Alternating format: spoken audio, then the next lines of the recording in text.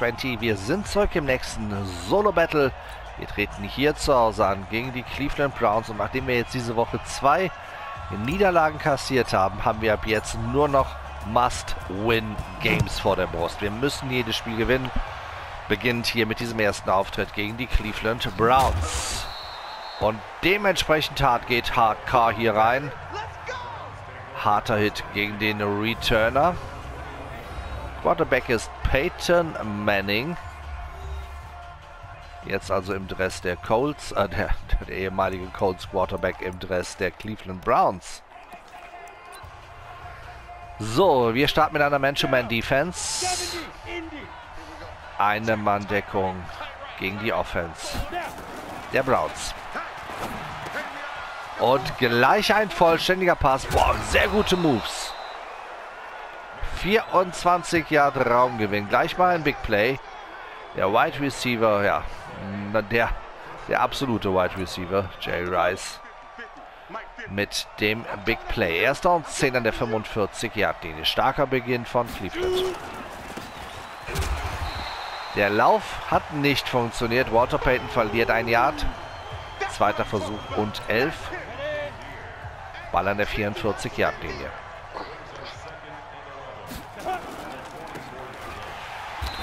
Schneller.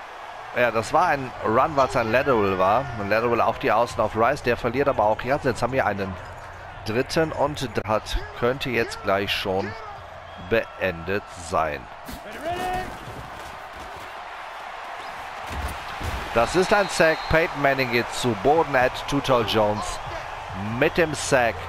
Vierter und 24. Das war schon sehr eindrucksvoll. Nachdem die Cowboys, muss man da wohl sagen, das erste Play komplett verpennt haben, haben sie hier mal kurz aufs Gas gedrückt. So, an der 20-Yard-Linie nimmt Dion Sanders den Kick auf. Retourniert über die linke Seite. Hat da Raum und kommt an die 42-Yard-Linie der Browns. Starker Return der Cowboys. Unsere Offense, angeführt von Kurt Warner. Kommt aufs Feld. Oh, ich wollte über die Außen laufen. Da zeigen mir gerade die Cleveland Browns den Blitz an. Schneller Wurf auf Terrell Owens, bevor der Blitz bei Warner einschlagen kann. Ist das der Touchdown für die Cowboys. Terrell Owens in der Endzone. 6 zu 0 der Spielstand.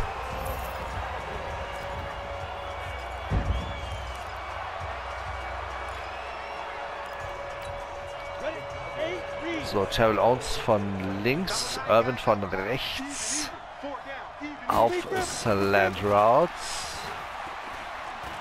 Und ein Kurt Warner, der selber in die Endzone läuft. 8 zu 0 die Führung für die Cowboys. Das ist doch mal ein sehr guter Start in dieses Solo-Battle gewesen. Aber wir hoffen, dass es so weitergeht. Der Return. Den stoppen die Cowboys an der 22-Yard-Linie. Erster Versuch und 10 für die Cleveland Browns. Ball an der 22 Yard Linie. Peyton Manning ist wieder hinterm Center. Lauf von Walter Payton. Zweiter Versuch und 7.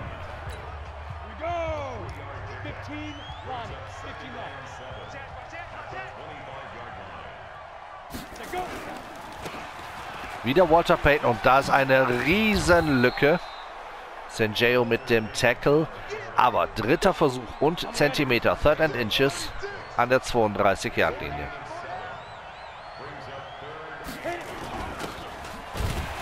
Und das ist kein First Down. Jim Brown, die Running Back Legende der Cleveland Browns, wird gestoppt, bevor er über die First Down Markierung kommen kann. Wir sehen den nächsten Punt. Das war jetzt ein ganz schnelles Three and Out. Es läuft nicht in der Offense der Browns. An der 15-Yard-Linie nimmt Sanders den Ball auf, retourniert diesmal über die rechte Seite. Alle dachten eigentlich, es wird über links gehen. Und der Ball ist schon wieder in der Hälfte von Cleveland an der 42-Yard-Linie. Und das macht es natürlich angenehm für die Cowboys. über die rechte Seite. Vier Sekunden noch zu spielen im ersten Quarter. Ein Jahr Traumgewinn war das nur für Emmett Smith. Das erste Quarter ist vorbei. Die Cowboys führen mit 8 zu 0. Wir nehmen den Trail. Owens, Witten und Amai Cooper attackieren die Mitte. Der Ball geht zu Amai Cooper und das ist ein First Down in der Red Zone von Cleveland an der 16-Yard-Linie. Starker Catch von Amai Cooper.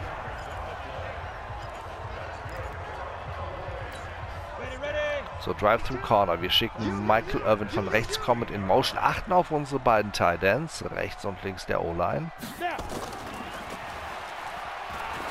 Wir sind gut gedeckt, aber nicht Michael Irvin. Ball an der 7-Yard-Linie, zweiter Versuch und 1. Counterplay über Emmett Smith über die linke Seite. Das ist der Touchdown für Dallas. Da merkt Cleveland zu spät, was die Cowboys vorgehabt haben.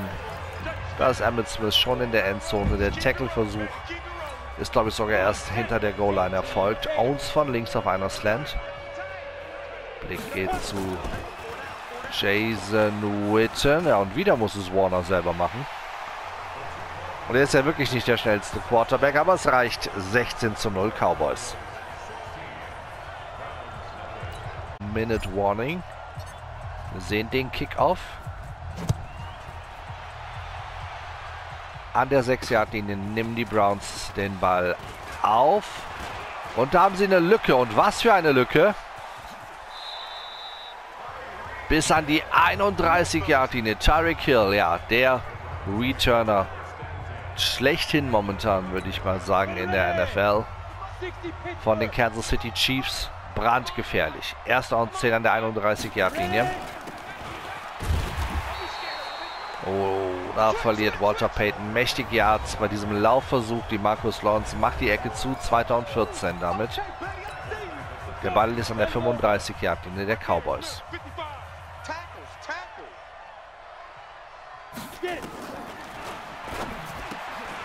Vollständiger Pass hier, der ist an die 26 Yard Linie.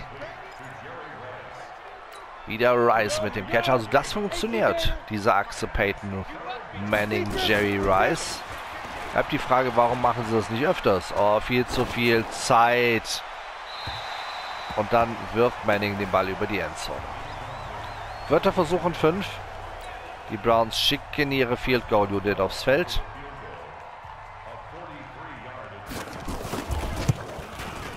Der Kick ist gut. Die Browns sind auf dem Scoreboard. 16 zu 3 der neue Spielstand. Dank dieses guten Returns von Tyreek Hill konnten die Browns also ein Field Goal Ah, da habe ich gedacht, ich hätte eine Lücke in der Mitte gesehen. Die war leider Gottes schnell wieder zu. Erster und 10 an der 32-Yard-Linie. Four Verticals. Witten attackiert die Mitte. Wir achten auf Terrell Owens im Slot. Und wir haben einen Running Back. Wir haben Emmett Smith. Kommt an die 41-Yard-Linie. Zweiter Versuch. Und zwei. Wir nehmen wieder den Trail. Wir achten auch hier jetzt wieder ganz besonders auf Amai Cooper. Der ist da schon wieder frei und das ist eine Incompletion.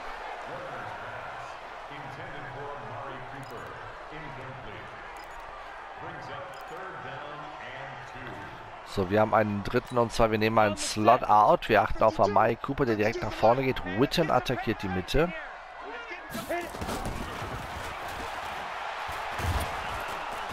Und der ging mal komplett in die Hose. Mein Gott, was habe ich mir denn dabei gedacht? Einfach mal einen Spielzug auspacken, den wir so überhaupt nicht beherrschen. Und das sollte man nicht tun. Jones muss panten. Das Momentum ist gerade auf den Seiten. Ich traue es mich kaum zu glauben. Kommt zu sagen der Cleveland Browns. An der 32 Yard Linie kommt Peyton Manning wieder aufs Feld. Drei Auszeiten. Entschuldigung, zwei Auszeiten haben die Browns noch. Eine haben sie gerade eben genommen. Nachdem sie gesehen haben, dass die Cowboys hier verteidigen also in der Zone.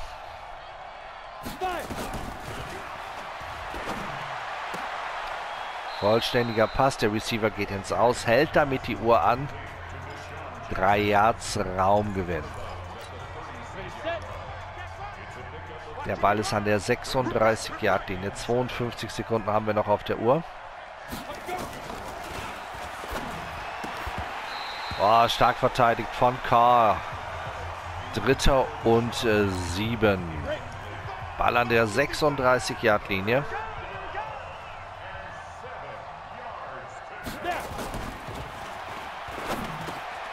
Das ist die nächste Completion. Vierter und zwei und jetzt machen wir es genauso, wie es eben die Browns gemacht haben. Wir nehmen jetzt ebenfalls eine Auszeit. Wir haben noch 41 Sekunden auf der Uhr. Die Browns hätten die Zeit jetzt hier komplett runterlaufen lassen. Oh, es ist ein guter. Sanders nimmt den Ball auf, versucht hier noch ein paar Yards zu machen. Immerhin an der 10-Yard-Linie. Das waren so 5 Yards die diese Aktion noch gebracht haben. Aber so stehen wir nicht komplett mit dem Rücken zur Endzone. So, ein Lauf über Emmett Smith, ein Stretch über die rechte Seite. Und der Running Back der Cowboys ist unterwegs, kommt an die 23-Yard-Linie. Neuer erster Versuch um 10 für Dallas. Ein weiterer Lauf über die linke Seite. Und Emmett Smith ist unterwegs. Oh, da kommt er nicht nach vorne. Da verlieren die Cowboys sogar, glaube ich, ein Yard. 2010, na, da haben sie es gerade noch geschafft, an die Line of Scrimmage zurückzukommen. Und jetzt kein Timeout mehr genommen. Das dürfte das letzte Play sein. Aggressive Defense hier der Cleveland Browns, die ein Timeout nehmen.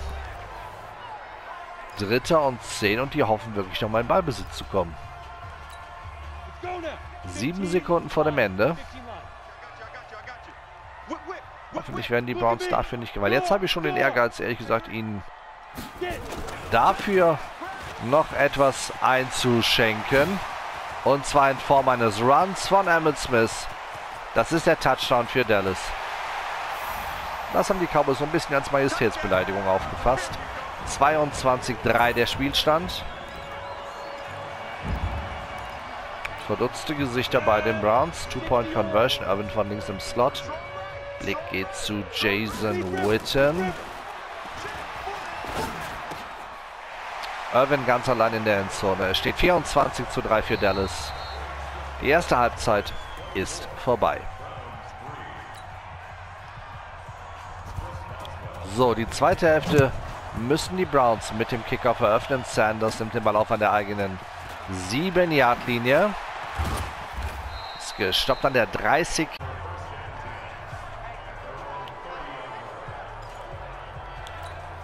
So, Misdirection Shot, ein Play-Action-Spielzug. Blitz angezeigt von der linken Seite. Und richtig viel Zeit. Trotz eines Blitzes Terrell Owens ist in der Endzone. Er verwandelt diesen präzisen Pass von Warner zum Touchdown. Und jetzt, glaube ich, gehen den Cleveland gerade die Lichter aus. 15 Sekunden, die, glaube ich, den Cleveland Browns hier den Nerv geraubt haben. Two-Point-Conversion. Diesmal geht der Ball zum Tight End. Es steht 32 zu 3. Man hat so ein bisschen das Gefühl, damit ist der Drops hier gelutscht. Kick der Cowboys an die 4-Yard-Linie. Cleveland mit dem Return. Der ist gestoppt an der 25-Yard-Linie. Erster Versuch und 10 für die Cleveland Browns. So, Cowboys in einer Man-to-Man-Coverage. Erster und 10.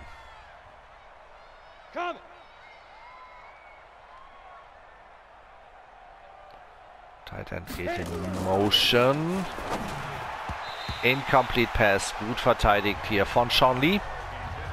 Zweiter Versuch und 10. Muss auch mal was zeigen. Beste Aktion immer noch nach diesem Kickoff-Return von Tyreek Hill, aber in der Offense kommt nicht viel. Es ist ein Dritter und Neun. Das sieht schon wieder nach einem ganz schnellen Three and out aus. Ich glaube aber auch, dass die Cowboys mit der Defense den Browns hier den Zahn gezogen haben. Das war ein starker Pass von Manning. Neues First Down. Wieder Jay Rice. Wie gesagt, das funktioniert. Warum spielen sie das nicht öfters? Erster und 10 an der 37-Yard-Linie. Laufversuch. Walter Payton. Die Marcus Lawrence tackelt ihn im Backfield. Drei Yards Raumverlust, zweiter und 13.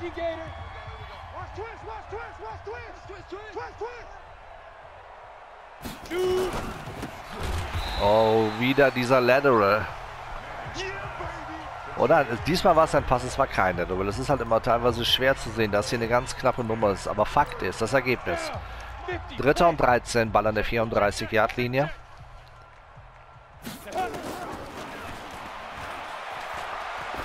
Wow, da wirft Manning und das ist ein wunderschönes Play. First Down an der 42 Yard Linie. Die Sean Jackson von den Philadelphia Eagles mit dem Catch. Cowboys wechseln jetzt in eine Zonenverteidigung, eine Cover 4. Erster und 10 an der 42 Yard Linie. Und auf einmal klappt es noch mit dem Lauf. Das ist ein zweiter Versuch und 5.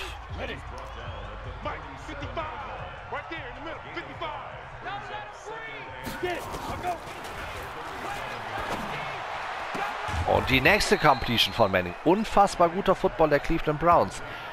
8 von 11 ist Peyton Manning. Also, das muss man sagen, das spielen sie hier richtig gut. Sind an der 21-Yard-Linie, kurz vor der Red Zone der Cowboys. Erster und 10. Walter Payton, das ist ein First Down. Jetzt sind sie in der Red Zone. First Down war das natürlich nicht, weil eben in erster Versuch und 10, aber Sie haben die Red Zone erreicht. Zweiter Versuch und 5. Bei der 16 Yard linie Wir nähern uns dem Ende des dritten Quarters, in dem die Cowboys nicht einmal im Ballbesitz waren. Warum sie das immer wieder probieren, weiß kein Mensch. Dritter Versuch und 5. Wir sind im Schlussviertel.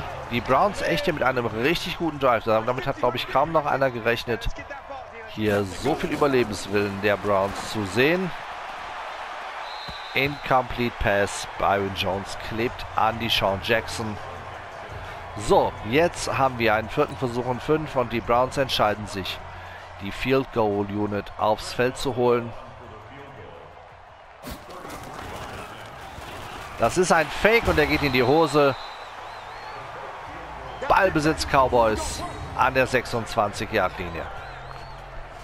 Ja gut, bei einer keiner blockt geht das Ding in die Hose. So, die Cowboys kommen an der eigenen 26 Yard in der Mitte Offense aufs Feld. Wir laufen mit Emmett Smith. Joy Polamalu mit dem Tackle. Zweiter Versuch und drei. Aber jetzt wird natürlich hier weiter gelaufen. Wir führen mit 29 Punkten. Ich möchte jetzt nur noch Zeit von der Uhr nehmen. Emmett Smith mit dem Run durch die Mitte. Oh, da wäre er fast sogar komplett durch gewesen. Kommt an die 48-Yard-Linie. Erster Versuch und 10 für die Cowboys.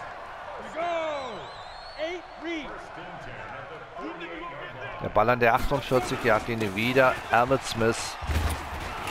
Er wühlt sich da nach vorne bis an die 46-Yard-Linie. Das ist ein zweiter Versuch um 3. Und wir sind angekommen beim 2-Minute-Warning.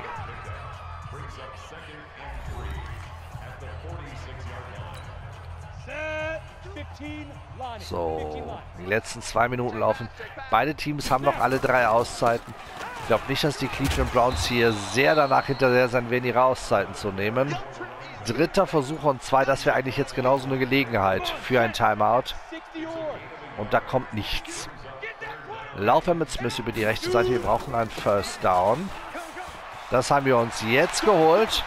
Und Emmett Smith macht mehr da draus. Touchdown für die Cowboys. 38 zu 3 damit. So, wir gehen auch hier wieder auf die Two-Point-Conversion. Nehmen einen Stick. Achten auf Irvin links im Slot. Jason Witten, der Tight End, ist unsere Sicherung. Der ist Muttersehen alleine. Oh nein, und da läuft er aus der Endzone raus. So kannst du natürlich keine Two-Point-Conversion erzielen. Bleibt beim 38 zu 3. So, 1,37 haben wir noch auf der Uhr. Peyton Manning und die Offense der Browns kommen nochmal aufs Feld. Nach diesem echt schönen Drive, den sie da hingelegt haben. Und auch, dass sie am Ende ein Field Goal Fake probiert haben, muss man ihnen echt anrechnen. War halt nur schade, dass es nicht funktioniert hat. Erster und 10 an der 25 Yard Linie.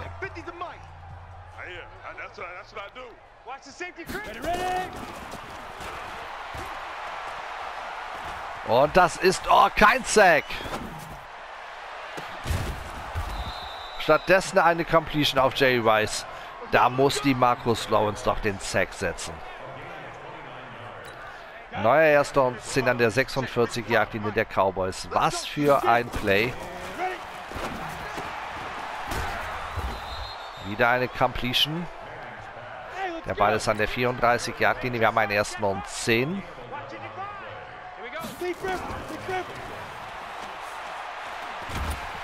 Diesmal ist der Sack da. Die Markus, äh, Ed Tutor Jones macht es besser als sein Kollege von der anderen Seite der die 40 Yard Linie.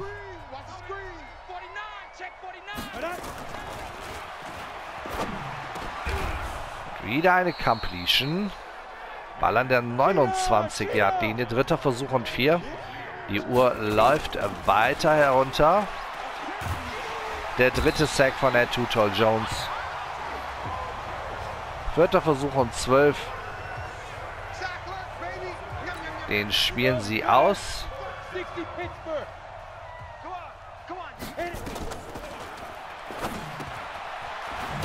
Und nochmal eine Completion auf Jerry Rice. Hat nicht gereicht für einen First Down. Turnover und Downs. Ballbesitz für die Cowboys an der eigenen 26-Yard-Linie. Noch 13 Sekunden auf der Uhr. Lass uns noch einmal mit Emmett Smith durch die Mitte laufen. Dann ist das Ding hier durch. Die Uhr läuft weiter runter. Beide Teams nehmen hier keine Auszeiten mehr. So, und damit ist es vorbei. 38 zu 3 schlagen die Cowboys die Cleveland Browns in diesem ersten Must-Win-Game. Da haben wir aber leider noch vier Stück vor uns. Bis zum nächsten Mal. Macht's gut. Ciao.